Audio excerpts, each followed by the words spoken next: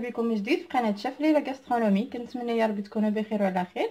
اليوم غنحضروا مع بعضنا واحد la soupe اللي كتجي رائعه وهائلة في المذاق وكذلك سريعة التحضير وصحية في نفس الوقت. فكنتمنى اذا كنتوا أول مرة كتزوروا القناة ديالي. تنقول لكم مرحبا بكم. ضغطوا على زر الاشتراك abonner أو subscribe وكذلك فعلوا الجرس باش يوصلكم كل جديد. فنبداو على بركة الله بطريقة التحضير والمقادير مع بعض. هاد الشوربه غادي نحتاجو على بركة الله. عندي هنايا بصلة كبيرة مقطعة أطراف كبيرة يعني اطراف عشوائيه ماشي مشكل. عندي نص كيلو ديال القرعه الخضراء عندي جزرة واحدة شوية ديال المكور أولا الكروم عندي زيت الزيتون. هاد القش ديال الطاليه غادي نحتاجها حتى الأخير. عندي الملح حسب الذوق شوية ديال العطريه ديال الدجاج شوية ديال البصل المجفف وقليل من سكينجبير أولا الزنجبيل وكذلك عندي الابزار أولا الفلفل الأسود.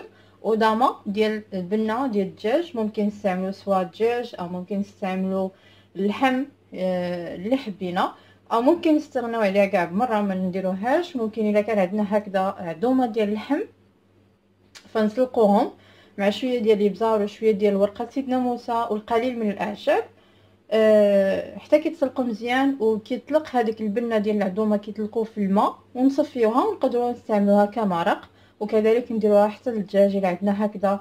آه، جناح ديال الدجاج العناق يعني شي حاجة اللي ما كنستعملوهاش فممكن نديرو نفس القضية آه، أولا نفس الوصفة ديال العظومه ديال اللحم نديروها للدجاج وحتى كنحصلوا واحد المرق ديال الدجاج ممكن نستعملوه هكذا في الشربات إذا هذا هو المكونات وندوزو لطريقه التحضير.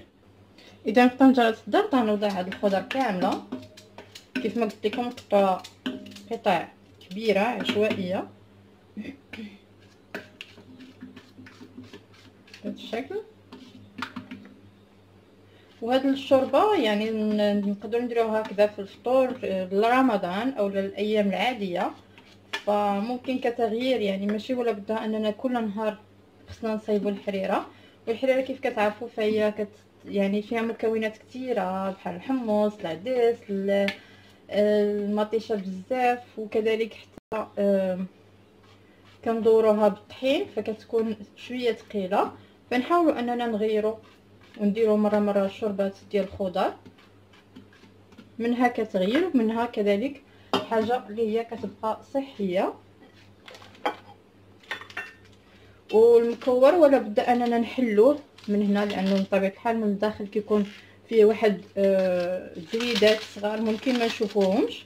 فضروري خصنا نحلو ليها هذاك الوريقات ديالهم وننظفوه مزيان.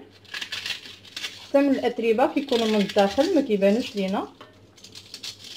فنحلوهم ونغسلوهم ورقة ورقة. صافي وغندير هاد المكونات يتشحروا مع هاد الزيت. إذا من بعد ما كيتقلى لينا هذاك الخضر شوية كنضيف ليها العطريه والملح بطبيعة الحال وهذاك الدامار ديال البنة. ونخليهم كذلك يتقلاو مرة أخرى مع ديك العطرية. فمن بعد ما كتقلى ليا الخضرة مزيان مع ديك العطرية غادي نضيف لها ماء مغلي حتى آه كيتغطى لينا هذاك الخضر يعني الماء الكافي اللي نقدروا نطيبوا به هذا لاصوب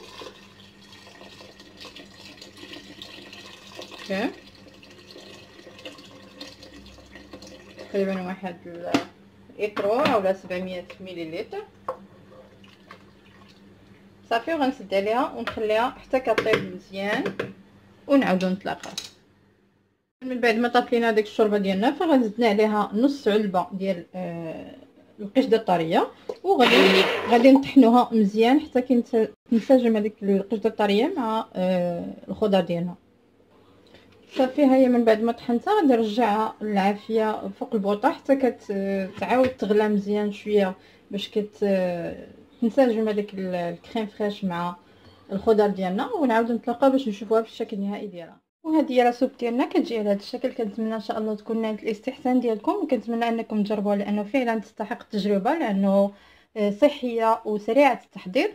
فكنتمنى إلا عجبكم la vidéo ضغطوا like وكذلك تبارطاجوا ما بين الأحباب والأصدقاء ديالكم وما تنساوش تضغطوا على الزر الأحمر وزر الاشتراك abonner أو subscribe وكذلك فعلوا الجرس باش يوصلكم كل ما هو جديد عبر القناة. خليت لكم راحة وإلى فيديو قادم ووصفة قادمة بإذن الله.